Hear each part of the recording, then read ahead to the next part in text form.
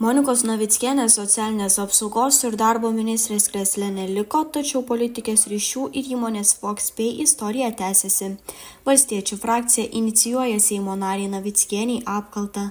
Speciali komisija turėtų aiškintis ministrės sutuoktinio darbo bendrovėje fox pay aplinkybes ir ryšius su susijusiais asmenimis lietuvos bankas apribojo fox pay veiklą konstatavus reikalavimų pažeidimus suvaržyta bendrovės teisė teikti ir gauti mokėjimo pavedimus per mokėjimų sistemą centrolink.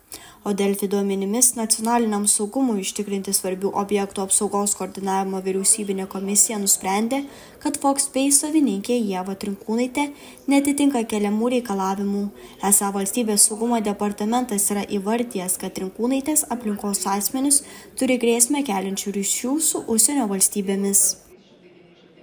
Renkame parašus norime registruoti nutarimą kad sudaryti laikinąją komisiją kuri išsiaiškintų apie galimai neskaidrius seimo narės monikos navickienės ryšius ir ir galbūt kaip ir grėsmę nacionaliniui saugumui kad įvertintų. Tai siūlome dabar jau kolegom nuo šiandieną pasirašyti dėl šios komisijos laikinosios tyrimų sudarymo dėl tos komisijos tarkim ji vyktų būtų suburta eisit atsakinėti klausimus be abejo aš esu pasiruošusi visada atsakyti visiem paprastus Aš manau, kad, nežinau, kieno šitą iniciatyvą tokia yra, tai jie nieko nederinė, čia jų iniciatyva, tai gal tegul ir subursit tą komisiją.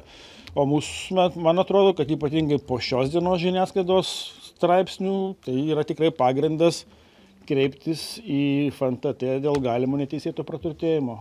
Nu, panašu, kad tai jų vienų iniciatyva, nes su socialdemokratais to nederina. O kodėl, kodėl jie atsirado jūsų požiūrį? Man sunku pasakyti, dėl ko atsirado dabar ta iniciatyva, nes paprastai tai naudojama prieš rinkimus kaip tam tikras politinis instrumentas viešumui gauti, bet aš manau, kad to viešumo, kurį mes gavome ir jūs žurnalistai, ką ištraukite ir kokią informaciją pateikėte ir parodėte, man tai yra pakankamas susidaryti nuomonę dėl ponios Naiskinės.